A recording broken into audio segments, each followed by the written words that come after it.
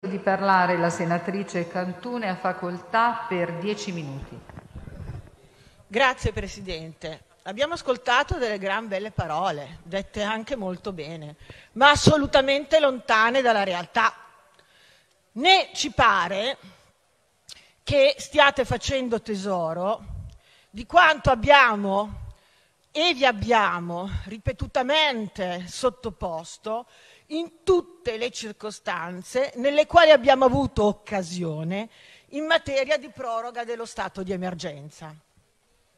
Sono ormai nove mesi e anche un parto difficile dovrebbe giungere a conclusione, cosa che invece con la richiesta di proroga tutto il gennaio 2021 palesate che questi nove mesi sono trascorsi inutilmente, posto che non c'è nessuna evidenza di avere trasformato in procedure concrete e ordinarie quanto inizialmente avrebbe potuto essere giustificabile affrontare in regime di procedure straordinarie ed emergenziali.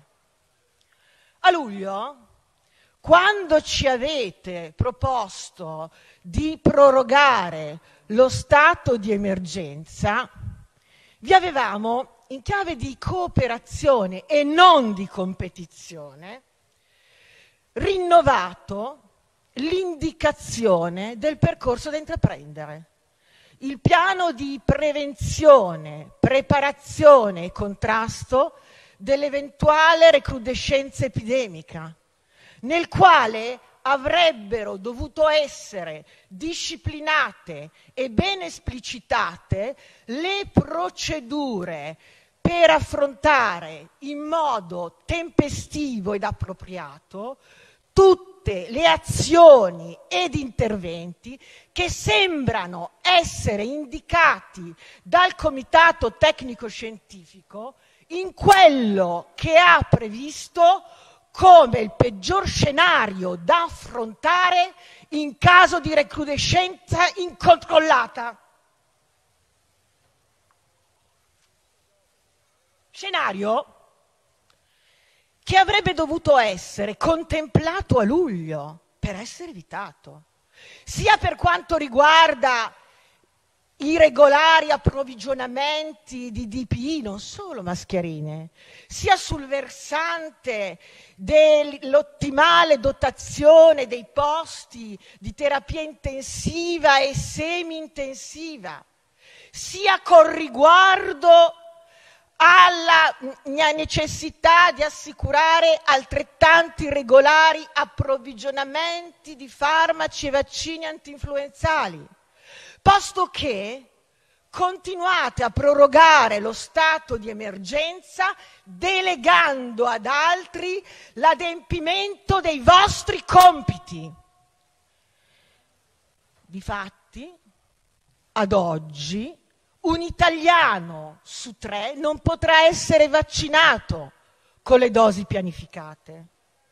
Logica vorrebbe che per recuperare in credibilità, trattandosi di un intervento emergenziale, smentiste in questa sede con dati inoppugnabili, dando certezza che tutti gli italiani in adesione consapevole possano eccezionalmente fruire della vaccinazione antinfluenzale quale livello essenziale di assistenza in emergenza, non solo quindi per la profilassi della solita influenza stagionale, ma, se come pare, blando antidoto anti-Covid.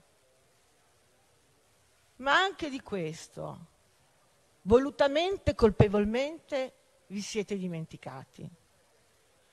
Non c'è prevenzione senza controllo. Ecco perché abbiamo continuato a insistere e insistiamo sulla necessità di potenziare i controlli, sia nel pubblico che nel privato, e sulla necessità di ricondurre alla normalità tutta quella che è la regolazione degli atti di gestione dei fabbisogni di risorse umane e strumentali nella sanità post prima emergenza Covid. Vale a dire superando la logica della gestione commissariale e della remissione al comitato di decisioni che dovrebbero essere del ministro.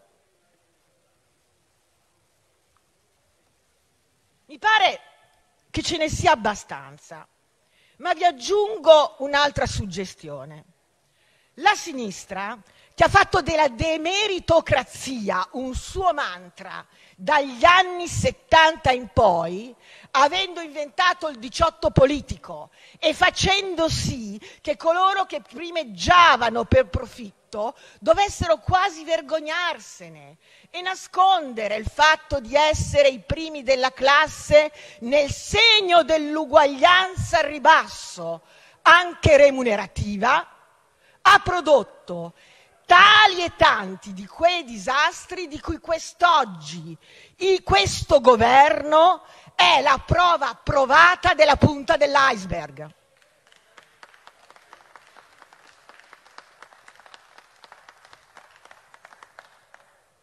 Anche quanto stiamo discutendo dimostra che non avete saputo o voluto trarre insegnamento dal periodo già vissuto obiettivamente a febbraio, a marzo, ad aprile, un unicum, per mettere in campo quegli strumenti atti a fronteggiare con ordinarietà pericoli meno gravi.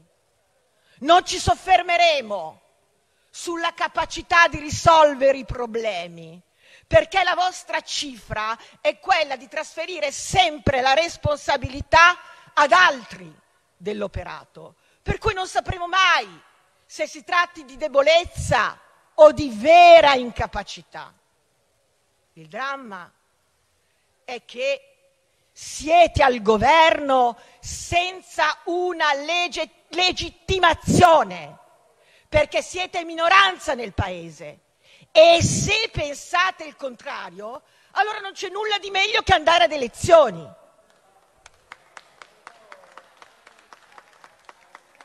Perché la compressione sistematica delle garanzie costituzionali richiederebbe almeno una legittimazione da parte di una maggioranza costi- consistente. Il vostro agire sarà pagato obtorto collo dalla totalità degli italiani di oggi e per le prossime generazioni. Ci sembra davvero inaccettabile. Grazie.